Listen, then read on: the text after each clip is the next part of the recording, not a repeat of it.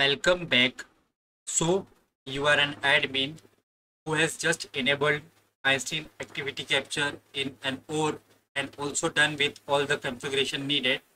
And now you are trying to connect your email account to EAC.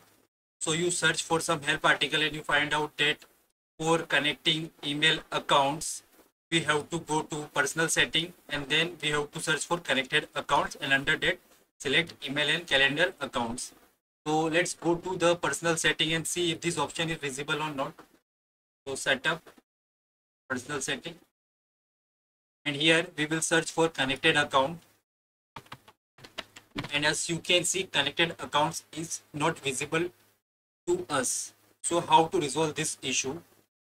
So in order to resolve this issue, first of all, you have to check if you have given the permission set to the user or not as you can see here to connect an account with Einstein activity capture we will have to use the permission set Einstein activity capture. So let's go to user. Click on the name of the user. And now under permission set assignment click on it. Click on edit assignment.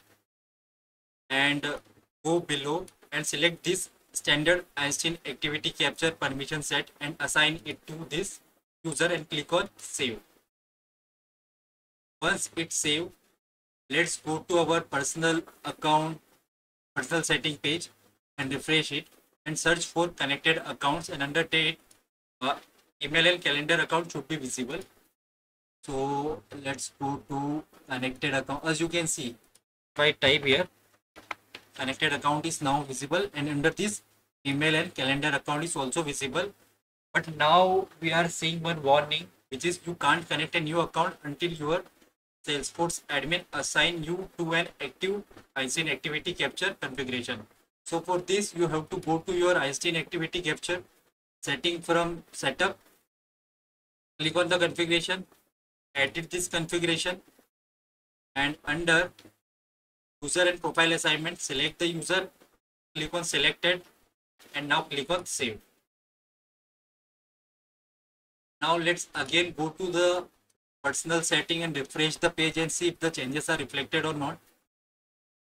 And as you can see, now you will be able to add your account to Einstein activity capture. So you have to just confirm if you have given the permission set to the user or not and then edit your configuration.